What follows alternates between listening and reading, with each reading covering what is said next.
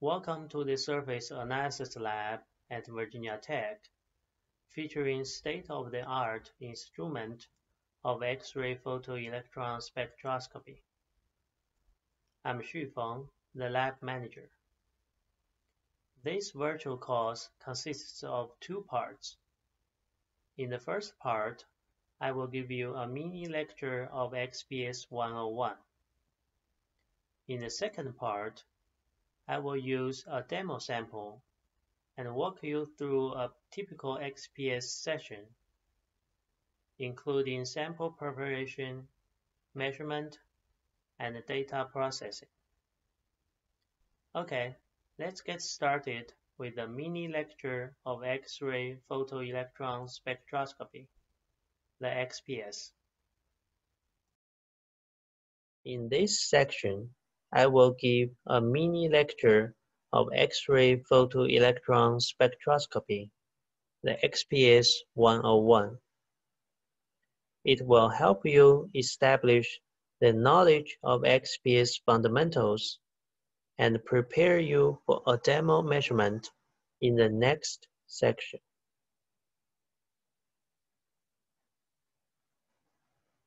In this lecture, I will cover the history and principle of XPS, modern instrumentation, and a few examples of data analysis and applications. There have been countless scientists around the world who have devoted their careers to develop and advance the principle, instrumentation, and data processing of XPS. Here, I just want to bring up two Swedish physicists who happen to be father and son. The father, Manne Siegbahn, was awarded the 1924 Nobel Prize in Physics for his discoveries and research in the field of X-ray spectroscopy. He developed equipment and techniques that allowed him and subsequent researchers to determine accurately the wavelengths of X-rays. His son, Kai Siegbahn, was awarded the 1981 Nobel Prize in Physics for his contributions to the development of high-resolution electron spectroscopy. He is the father of X-ray photoelectron spectroscopy, the XPS. X-ray photoelectron spectroscopy, the XPS, has an original name of ESCA, electron spectroscopy for chemical analysis which speaks for itself. This surface-sensitive technique is widely used to identify elements on the surface of solid materials, their chemical states, and atomic percentages. XPS can measure both conducting and insulating materials in variety of forms such as powders, pellets, and thin films, and have been widely applied in industries such as semiconductors, plastics, adhesives, and catalysis. So what is the principle of XPS? Let's picture a sodium atom sitting on the surface of a salt crystal. Electrons are circling the sodium nucleus in their respective orbitals with distinct binding energies. When X-ray hits the sodium atom, a photoelectric effect occurs. The photon energy of the X-ray overcomes the binding energy of this sodium 1s electron and eject it out of the atom. This photo-emitted electron carries a kinetic energy which is simply the difference of the X-ray photon energy and the electron's binding energy to the nucleus. When this electron reaches the XPS analyzer, its kinetic energy is measured and its binding energy is back calculated and shown in the spectrum. Thus, an XPS spectrum is generated by the count of electrons per second as a function of binding energy. The binding energy value of sodium 1s electrons to its nucleus is different from that of any other elements such as oxygen and carbon. Thus, elements can be identified by matching peak positions to their fingerprint binding energy values. The same principle applies to sodium 2s and 2p electrons. In addition to the identification of elements, XPS can probe the chemical state of elements thanks to a chemical shift effect. This is a unique advantage of XPS compared to other elemental analysis techniques. Chemical shift in XPS is the change in binding energy of a core electron of an element due to a change in the chemical bonding of that element. Let's picture a carbon atom bonded to a neighborhood carbon atom. The binding energy of the carbon 1s electrons to the nucleus is 284.8 electron volts. When the neighbor carbon atom is replaced by a more electronegative oxygen atom, the valence electron of this carbon atom are pulled away from the nucleus and toward the oxygen. As a result, the binding energy of the carbon 1s electrons to the nucleus is strengthened, now at 286.3 electron volts. Thus, a chemical shift of the carbon 1s binding energy occurs. Relying on the chemical shift, one can distinguish a carbon-carbon bond from a carbon-oxygen single bond or carbon-oxygen double bond or carbonates by different binding energy values of carbon 1s electrons. The same principle applies to all elements. Besides element and chemical state identification, XPS also provides atomic percentages of surface elements. This task is accomplished by integrating the peak area of a specific photoemission peak for each element of interest, divided by its empirical sensitivity factors, then normalizing all values to 100%. Now that we know XPS is a powerful tool to identify elements and their chemical states, there is one limitation of XPS that can be viewed either as an advantage or disadvantage. That is, XPS is strictly surface sensitive. In another word, all chemical information obtained by XPS originate from the near surface region of a material. When X-ray hits a material, it penetrates into the bulk of the material by micron depths with no problem and excites electrons along the way. However, the photo-emitted electrons need to preserve their total energies when escaping from the material so that their kinetic energy can be correctly measured by the XPS analyzer and their binding energies be correctly back calculated. The inelastic mean free path for a common photo-emitted electron is less than 2 nanometers in solids, meaning that an electron on average travels less than 2 nanometers through the solid before losing energy.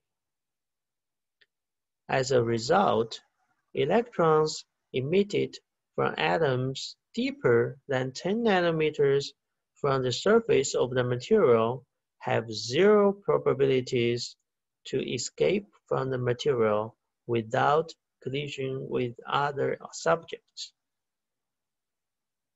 They lose part or all of the kinetic energies on their way to the analyzer and only contribute to the background signals in an XPS spectrum. Therefore, the probe depth of XPS is less than 10 nanometers. Since XPS is strictly surface sensitive, that it means that XPS cannot probe chemical information from the bulk of a material. Well, not exactly. An XPS system is commonly equipped with a sputter gun, which can etch solid materials at a speed of a few nanometers per minute. A repeated sputter and measurement process generates a profile with chemical composition as a function of depth. A sputter depth profile of an oxidized silicon wafer reveals the multilayer structure of the material as well as the thickness of the oxidized silicon layer.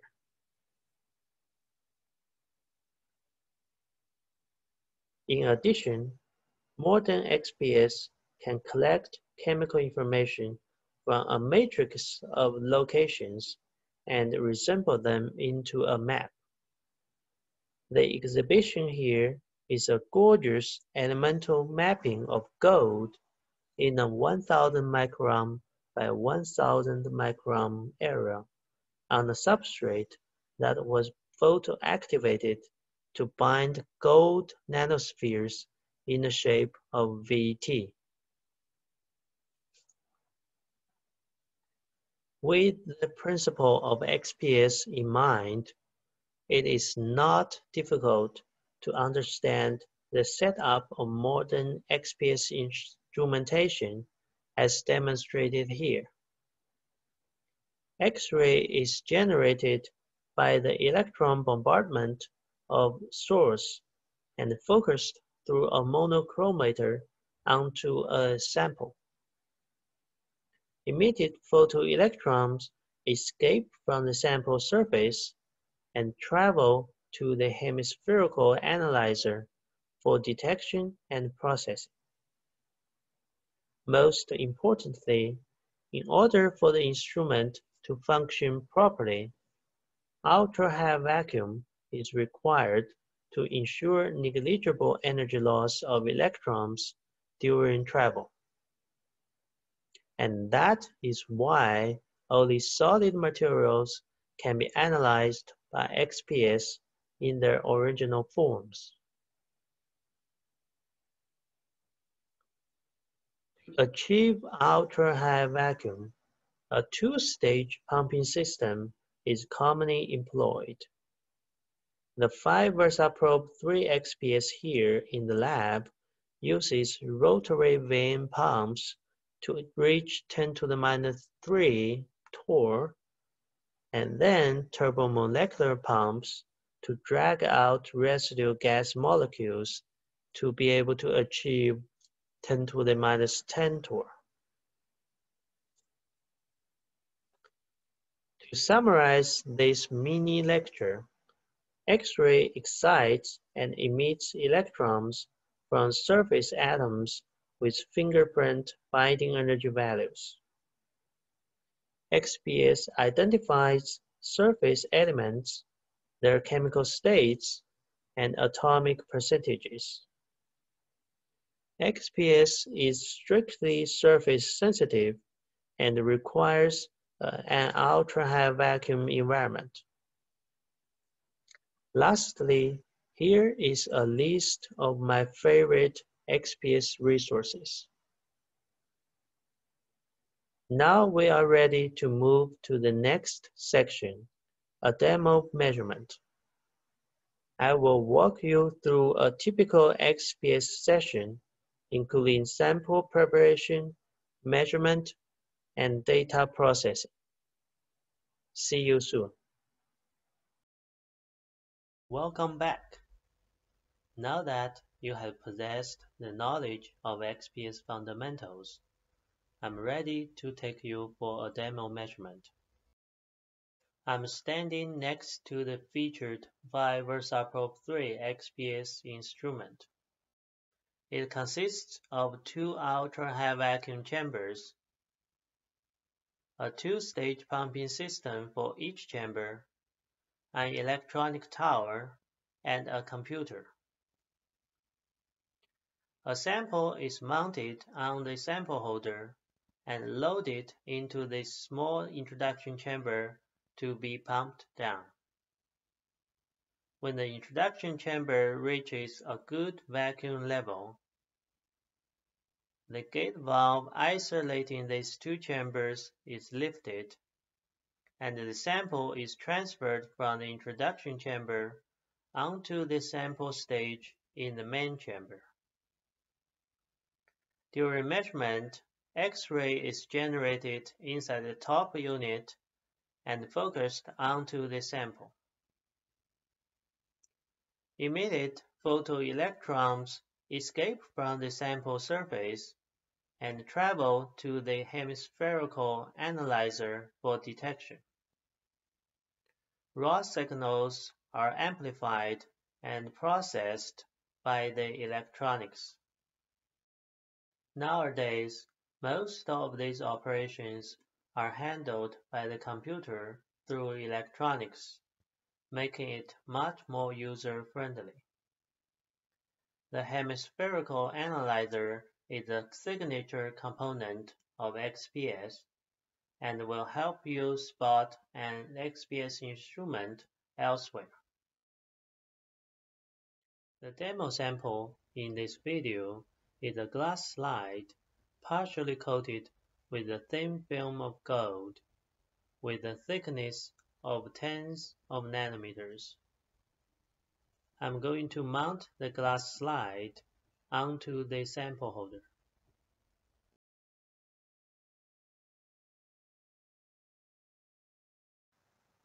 Sample preparation for XPS is rather straightforward. You secure the sample to the sample holder without any moving parts or loose particles, and expose the surface of interest to the direction of the X-ray beam. A piece of double-sided tape is sufficient for most type of samples. The available analysis area settings of this instrument is between a few microns and hundreds of microns, so only a small quantity of materials is likely sufficient.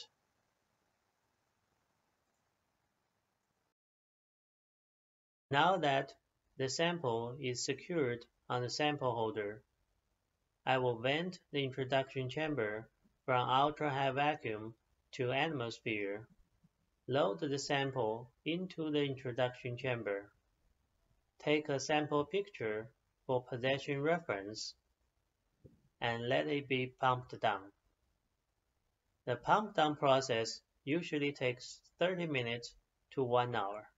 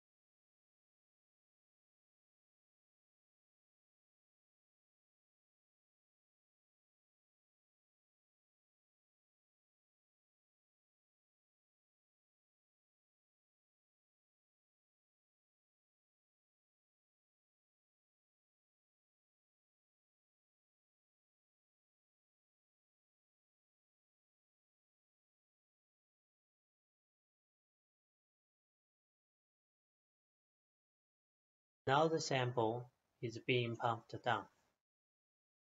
Now that the pressure in the introduction chamber is lower than 4 times 10 to the minus 4 Pascal, I'm going to lift the gate valve and transfer the sample onto this stage in the main chamber.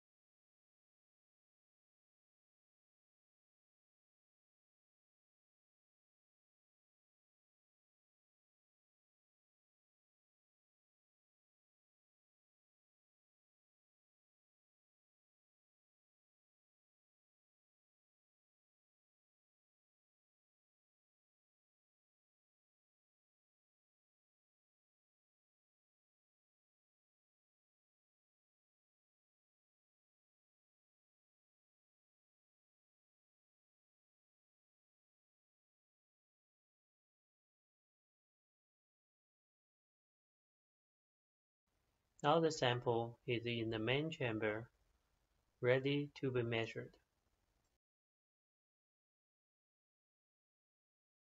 We are at the user interface of the data acquisition software by SmartSoft. Sample measurements are handled here. I will use the gold-coated glass slide to demonstrate several features of this Phi VersaProbe 3 XPS instrument, including element and chemical state identification, elemental mapping, and sputter depth profiling. First, I'd like to quickly walk you through the software layout. The current System tab is the overview of the system status such as pressure gauges, valves, and system flow chart. It also controls the sample transfer process. Under the Sample tab is the sample image on the upper left that was previously taken in the introduction chamber. The image on the upper right is a scanning X-ray image a unique feature of this instrument, which functions similarly to a low-resolution SEM to achieve accurate definition of analysis area on small objects. Under the XPS tab, one can set up parameters for spectrum, depth profile, and mapping. Under the Hardware tab, one can tune up hardware settings for X-ray charge neutralization and detection. The first XPS feature I will demonstrate is element and chemical state identification. I start the measurement on the non-coated area of the glass slide. I define an analysis at point in this area, drive the sample to meet the X-ray beam at this point, and raise the sample to an anticipated height.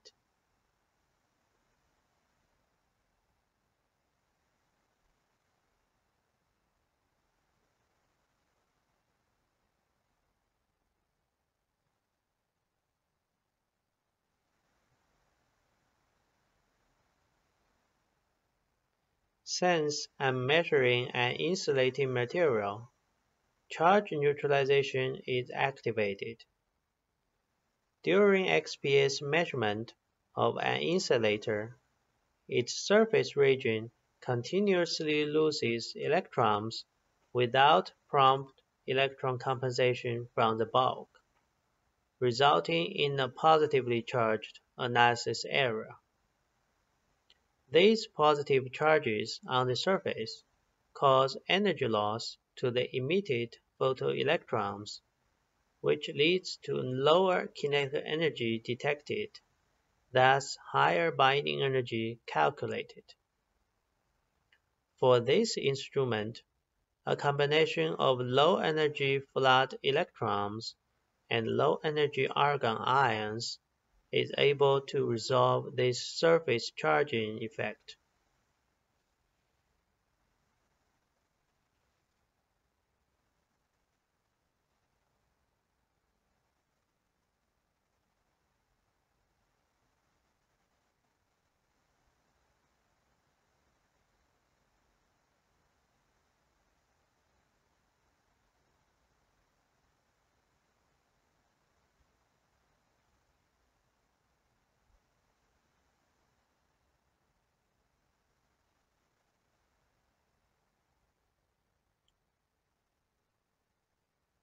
Now I proceed to find the optimal sample height for this analysis point and then perform a survey scan.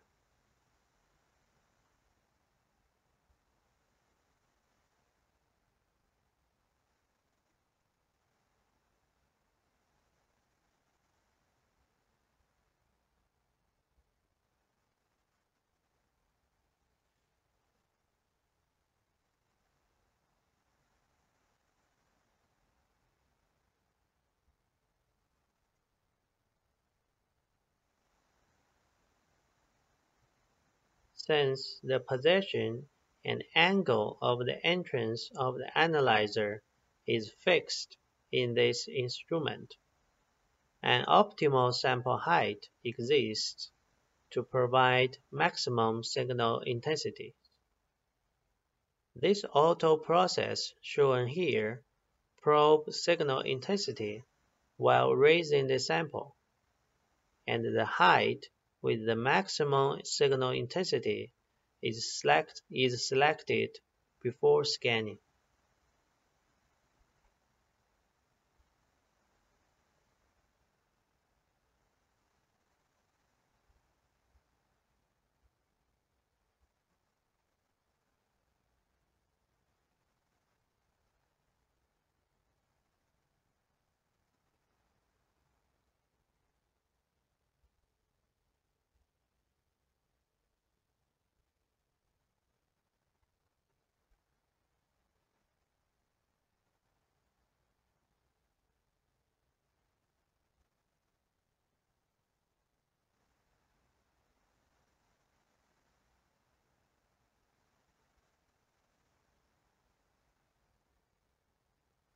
In the lower window is the live spectrum to survey the analysis point on the non-coated glass slide.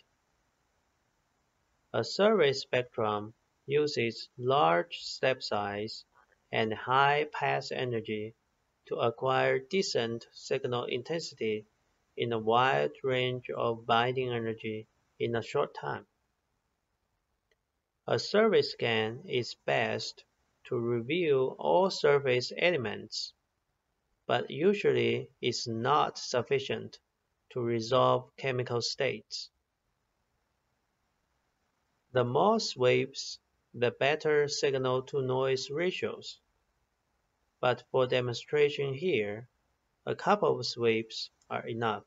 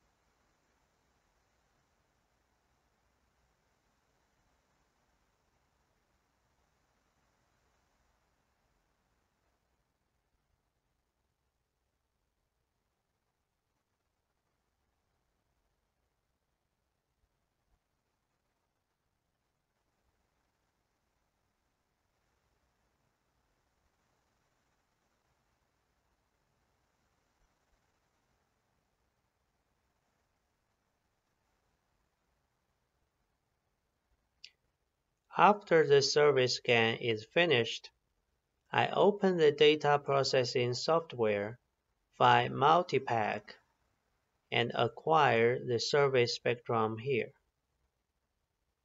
I use the adventitious carbon peak to correct the binding energy scale and identify major and minor elements by matching peak positions.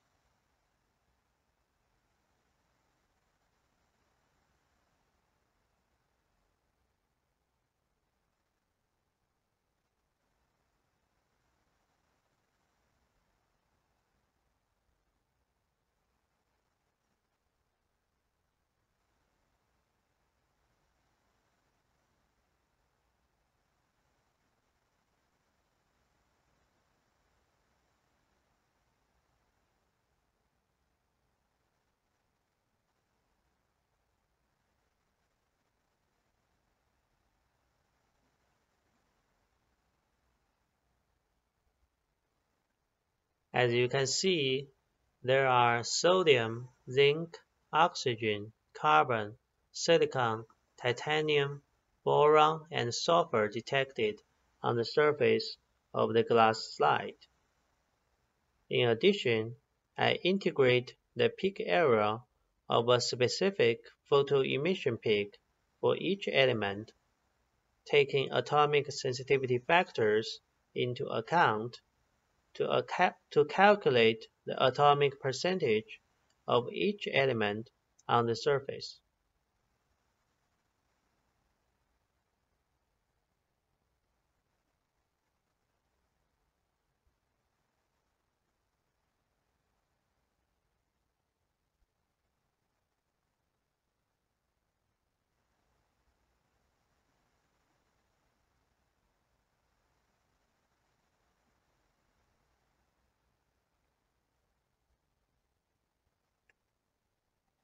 You can see that the surface is primarily composed of carbon, oxygen, and silicon.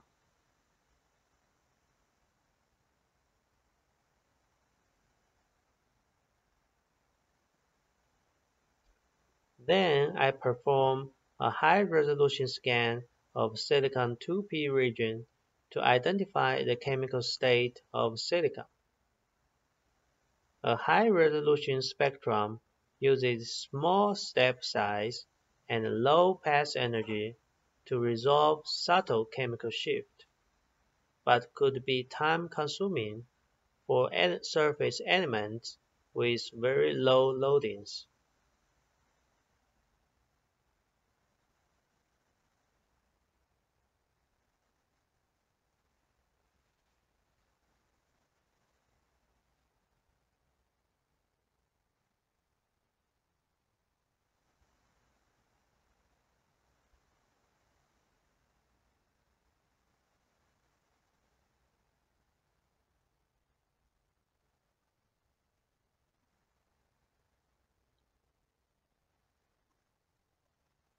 The lower left window is the silicon 2p region, and the lower right window is the carbon 1s region.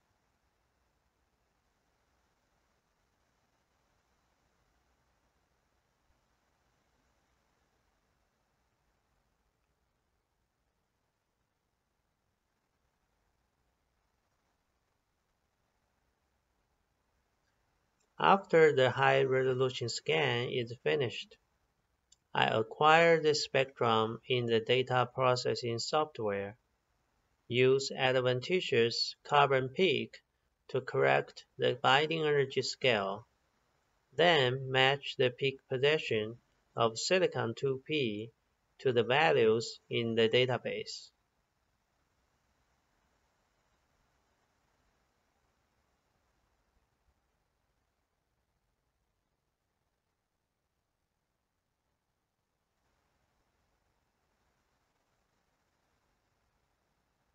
The peak position of 102.9 electron volts matches those of silicate and is well separated from that of silicon metal around 100 electron volts.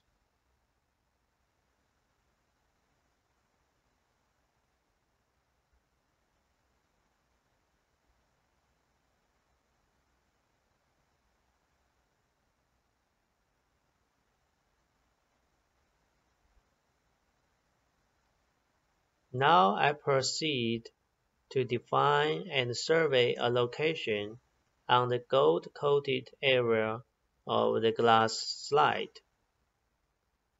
The best practice is to find the optimal sample height for each analysis point, but I choose to skip it here since it's a flat surface.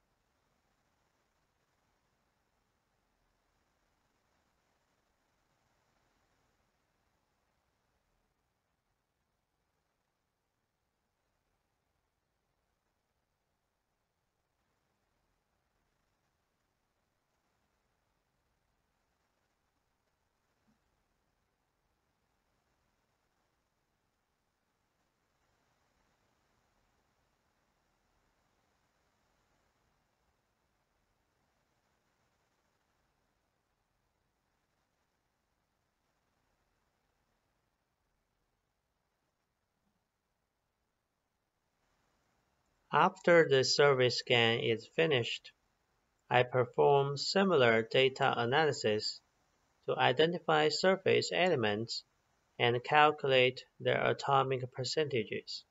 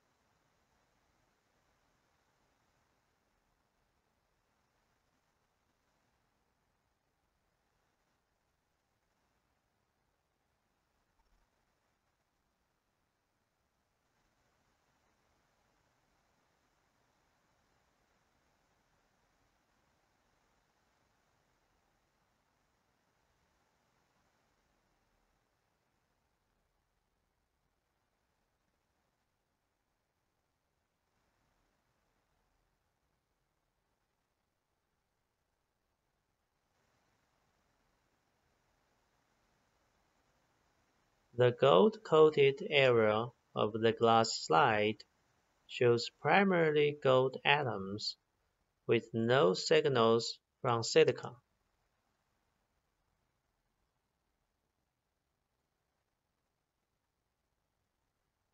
The superimposition of the survey spectra from these two materials demonstrate drastic difference in chemical composition, indicating that just tens of nanometers of gold thin film is able to block any XPS signals from the glass substrate. This is an excellent example to show that XPS is strictly surface sensitive. The second XPS feature I'd like to demonstrate is elemental mapping. I drive the sample to meet the X-ray beam and the boundary of the gold layers and map the gold 4F signals in a 1000 micron by 1000 micron area.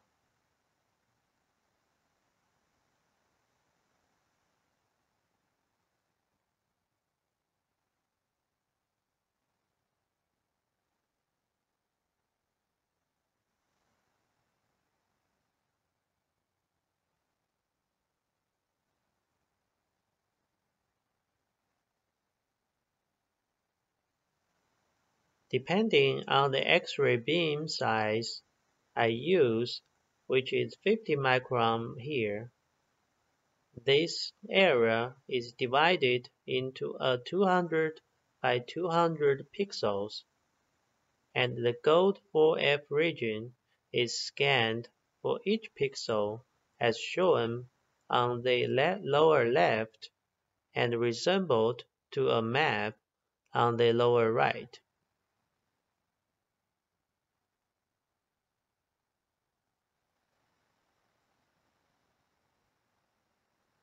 Let's fast forward to the finished map.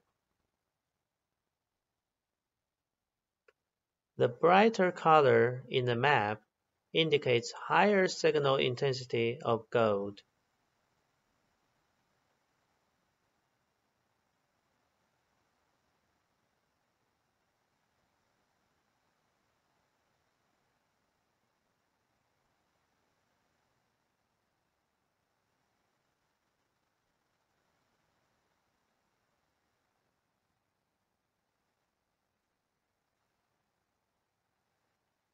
This map clearly demonstrates the boundary of the gold layers under the view of XPS.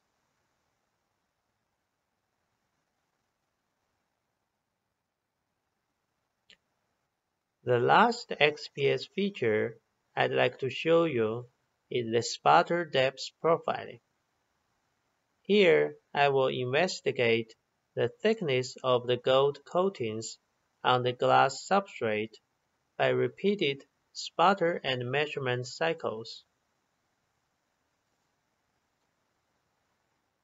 I choose the sputter gun setting that etches the solids at a speed of 1.7 nanometers per minute and monitor the signal intensities of gold 4F and silicon 2p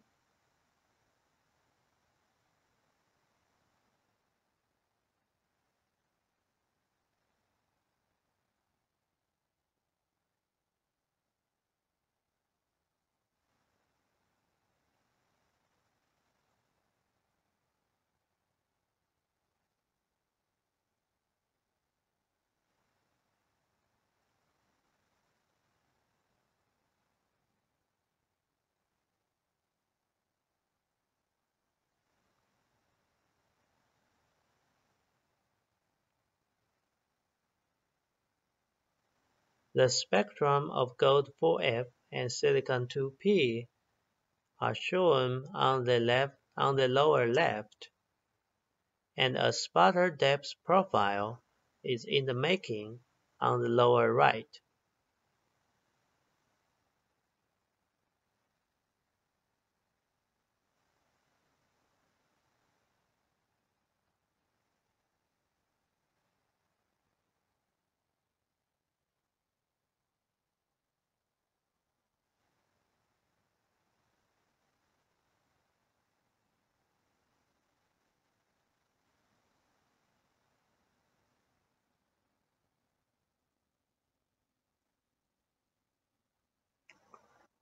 The measurement of the initial surface shows significant gold and no silicon.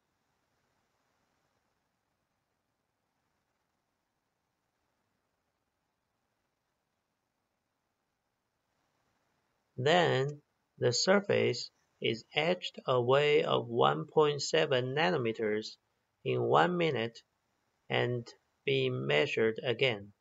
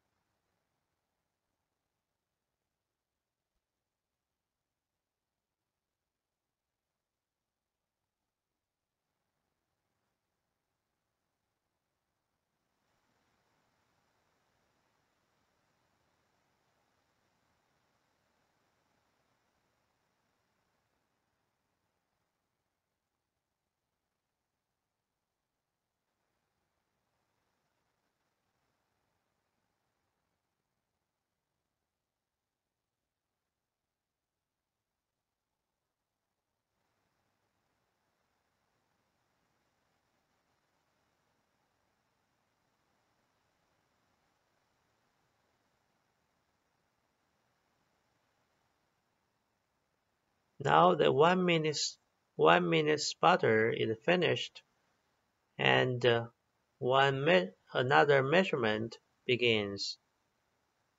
As you can see, the gold signals remain unchanged, while a trace of silicon shows up.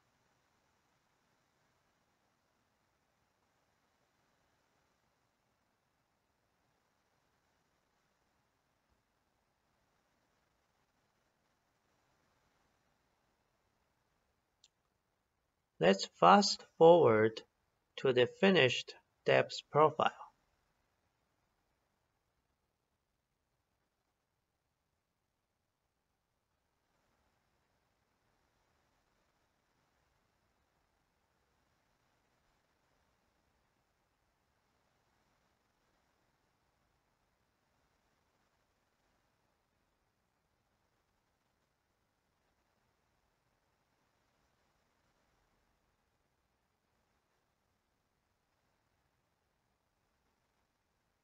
In this process, you can clearly observe that the gold signals are going down and the silicon signals are going up.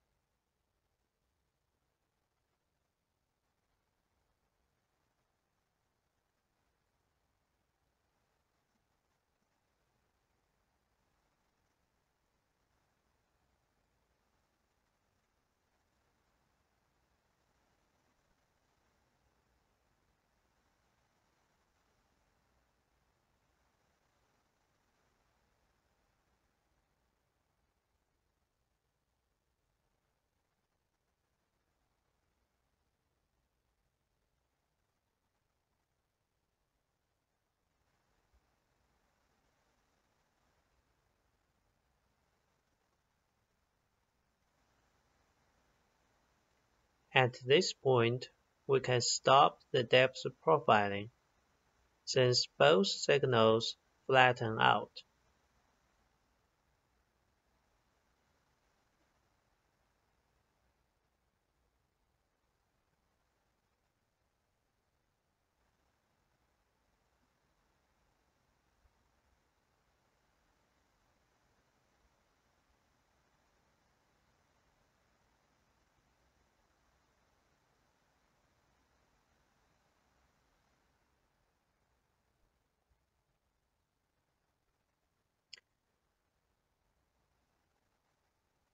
I open the data processing software and acquire the profile data.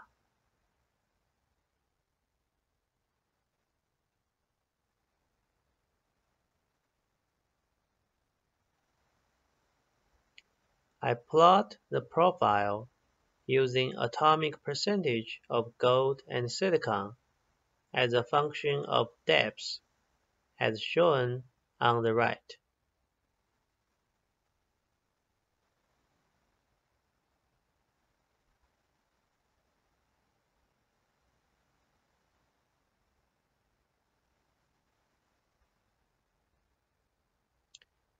As you can see, the amount of gold is negligible beyond 18 nanometers depth, indicating that the thickness of the gold coatings is 18 nanometers at most.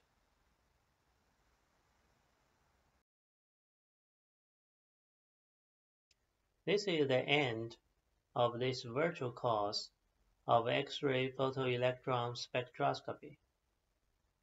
You have learned the XPS fundamentals and experienced a typical XPS session including sample preparation, measurement, and data processing. I hope it will enrich your knowledge in analytic chemistry and benefit you in your future endeavor. If you have any inquiry related to XPS, don't hesitate to contact me by email. Thank you for watching. Bye now.